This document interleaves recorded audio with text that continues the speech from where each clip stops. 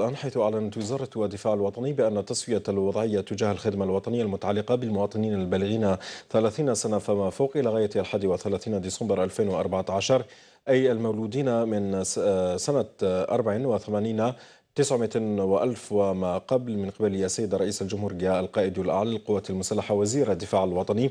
تتواصل في ظروف جيدة وبهذا الصدد.